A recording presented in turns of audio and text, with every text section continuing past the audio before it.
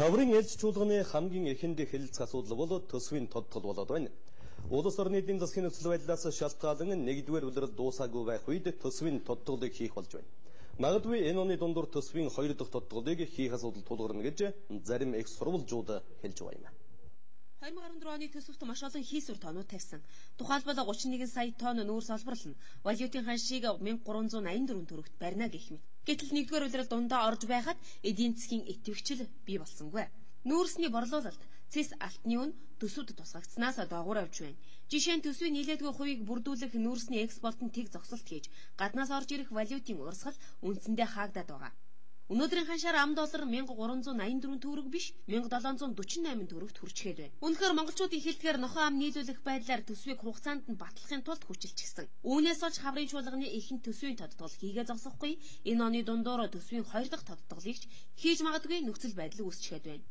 Тэгэхээр валютын ханшийг бид тодорхой хэмжээнд барьж чадахгүй байхад энэ жилд ганц байтугай нэгээр одоо тогтохгүй төсвийн тодтгол хийх болов гэж би хөвдө харж байгаа их хэмжээгээр нүүрсээ экспортлох хэрэгтэй байна, төмөр замаа тавих хэрэгтэй байна. Энэ бүх зүйлүүдийг бид нар одоо өнөөдөр бас дөрөвтэй хийж чадахгүй л байна.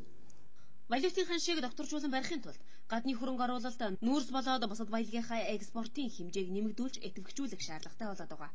Гэтэл нэг зүйлийг бид хатуу ойлгох хэрэгтэй болчиход байна. Хууль баталсан даруйд хөрөнгө оруулагч орж ирдэггүй. Хөрөнгө оруулагчийг татахын тулд итгэлийг нь олохын тулд хичээнгийн уулзалт ярилцлага хийж их хөрөнгө зарцуулахаас аргагүй болоод байгаа.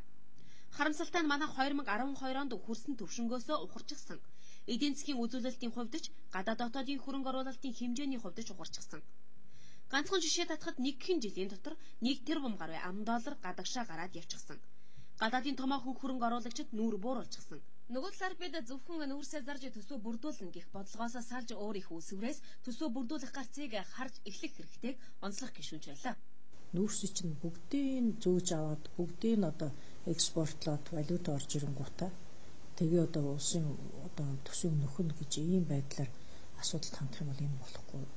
Бидний сая бол одоо эрдэс баялагын бодлогот ч тэр ер нь аль болохоор гадаадад гарах үр ашиггүй гаргах ирээдүйн хойч үедээ үлдээх хэдргээд энэ нүүрсний баялаг энэ баялагийг бол хит их гарч хит их хоригдлуулах нь тийм сайн асуудал гэж биш би бодож байгаа.